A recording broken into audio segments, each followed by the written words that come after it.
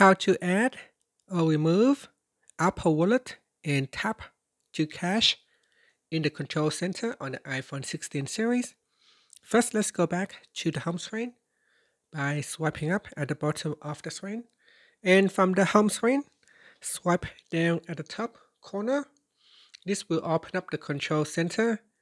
Now tap on the add button. Then we go down and tap on add a control. Next, scroll down the list.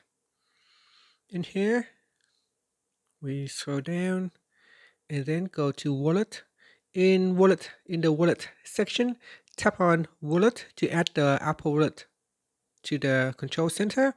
If you want to add in the tap to cash, tap on add to control again, and then again we scroll down to wallet and then tap on tap to cash. And that's it. Now the shortcut has been added to the control center. Tap anywhere on the screen to close that or swipe up to go back to the home screen. Now after that, we can pull down the control center and then in here, we can tap on the Apple Wallet shortcut to quickly open up your wallet. Now this one uh, hasn't been set up, so it's showing me the screen to set up uh, Apple Cash.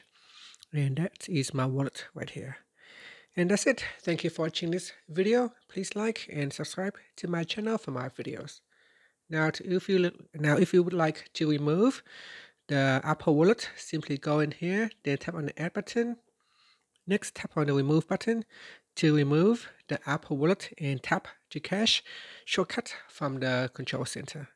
And that's it. Thank you for watching.